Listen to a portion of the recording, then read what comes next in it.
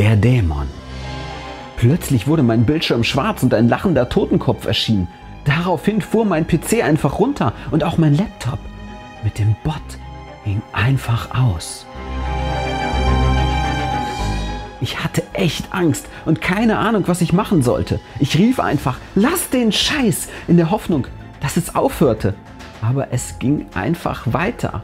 Plötzlich ging das Licht ganz aus und ich stand im Dunkeln. Ich versuchte zum Lichtschalter zu kommen. Ich schrie auf, aua!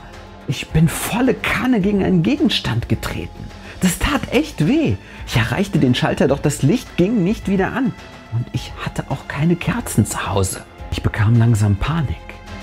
Als mich was berührte, erschrak ich. Was war das, dachte ich und drehte mich panisch im Kreis.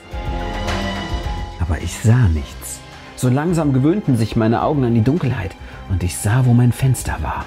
Lief darauf zu und machte es schnell auf. Ich wollte gerade rausklettern, als mich plötzlich etwas festhielt. Ich wehrte mich und zappelte herum, und als ich geschafft hatte, mich loszureißen, fiel ich aus dem Fenster und prallte auf dem Boden schmerzhaft auf.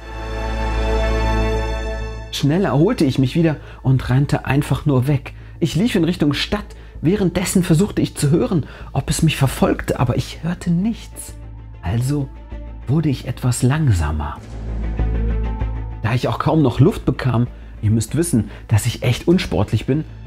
War schon ein Wunder, dass ich so weit rennen konnte. Mir tat alles weh. Ich blieb kurz stehen, um wieder Luft zu bekommen. Und plötzlich hörte ich hinter mir ein Geräusch. Es klang so komisch, dass ich es echt nicht mal beschreiben kann. Ich drehte mich langsam um. Hinter mir war nichts. Also stempelte ich es als einen Irrtum ab und ging langsam weiter. Wenn ich in der Stadt ankommen würde, würde ich zu einem Kumpel gehen, der da wohnte. Doch auf einmal bewegte sich vor mir was im Gebüsch.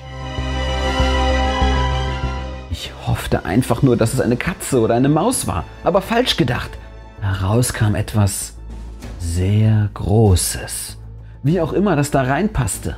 Aber umso mehr es rauskam, umso größer wurde es. Mir klappte der Mund auf. Ich begriff gleich, dass Weglaufen nichts brachte, da es zu 100% schneller war als ich. Also suchte ich nach einer Waffe, denn ohne Kampf gehe ich nicht unter. Ich schnappte mir schnell einen Stock, der einen Schritt neben mir lag, und schrie das Wesen an. Bleib bloß weg!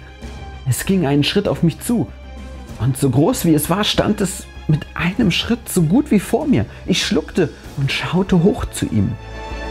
Ich glaubte, dass es grinste. Man sah nicht viel. Es, es sah einfach nur aus wie ein großes, schwarzes Etwas. Ich rief ihm böse zu, was willst du von mir? Es antwortete mir mit einer so dunklen Stimme, dass ich sofort eine Gänsehaut bekam.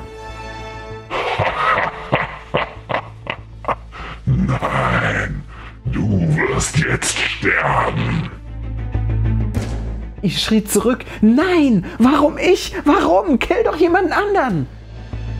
Er lachte einfach nur. Ich sah es als meine Chance und schlug ihm den Stock um die Ohren. Ich rannte weg, ich rannte so schnell ich konnte. Doch dann stolperte ich über meine eigenen Füße und fiel hin. Ich versuchte wieder aufzustehen. Doch es ging einfach nicht. Mein Fuß bewegte sich nicht.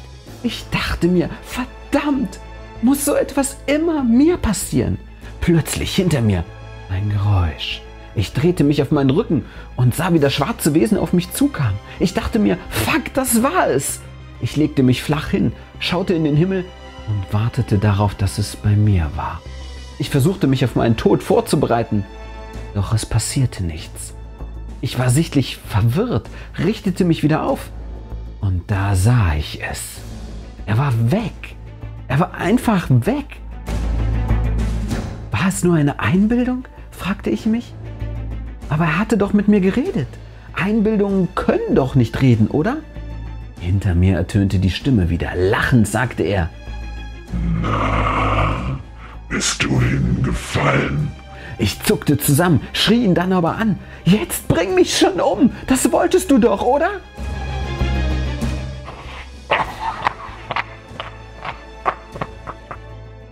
Er lachte einfach nur.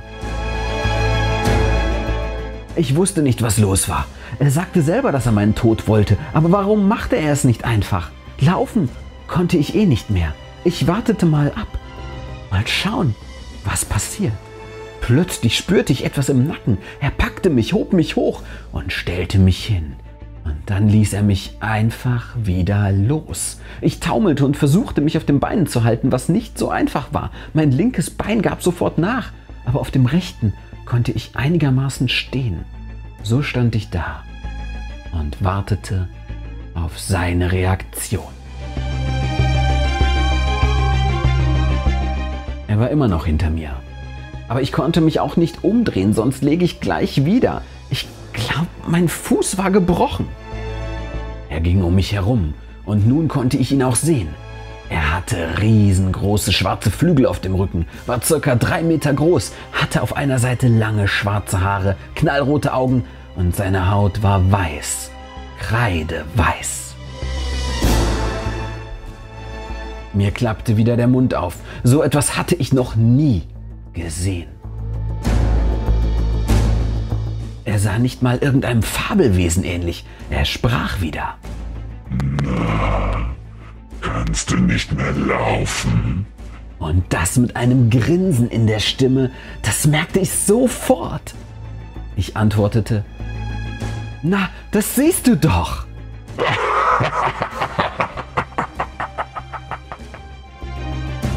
er lachte laut und sagte, Oh, armes menschliches Wesen. Aber so macht das doch gar keinen Spaß. Ich wusste mir nicht anders zu helfen, also sagte ich, dann such dir doch ein anderes Opfer. Er antwortete, Oh, keine Sorge. Ihr Menschen werdet alle noch dran glauben müssen.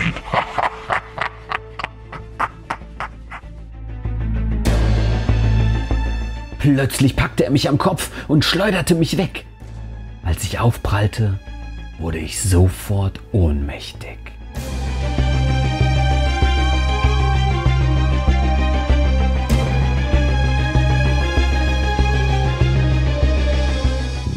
Liebe Zuschauer, das war jetzt also der Dämon aus Minecraft.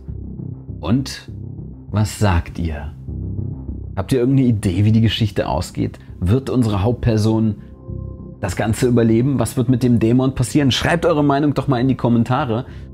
Ich finde auf jeden Fall, liebe Tanja, dass du auch diese Geschichte wieder super, super spannend hinbekommen hast.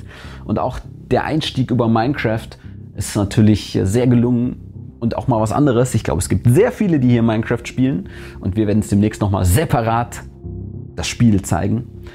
Aber die Geschichte hier ist auf jeden Fall sehr spannend, oder was meint ihr, liebe Zuschauer? Ich freue mich auf eure Kommentare und ich glaube, die Tanja auch. Macht's gut und bis morgen um 20 Uhr.